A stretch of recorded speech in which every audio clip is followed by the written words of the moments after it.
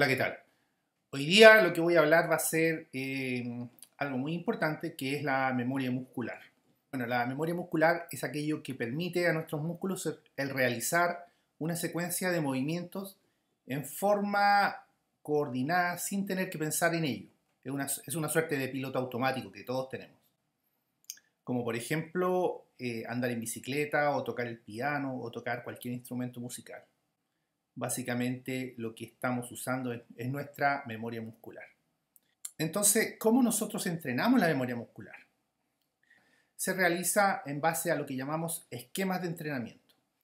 En un esquema, básicamente nosotros repetimos una y otra vez un mismo golpe para, que, para alcanzar una perfección, sino que inicialmente este golpe se debe partir y hacer lentamente de modo de que tú vayas aprendiendo o tus músculos puedan usar la capacidad de memoria muscular para guardar esta información correctamente.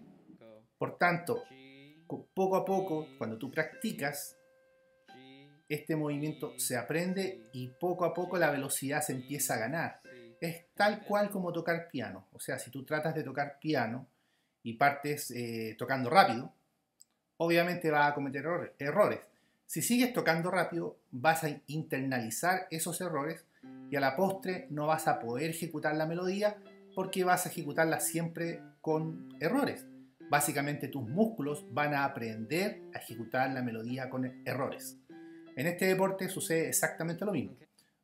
Tú, realizas un entrenamiento, se debe partir lentamente y hacerlo perfecto. Y poco a poco la velocidad se gana con perfección.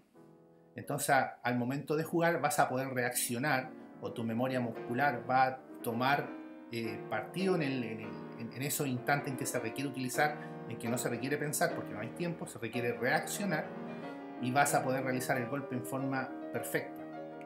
Bueno, resumiendo,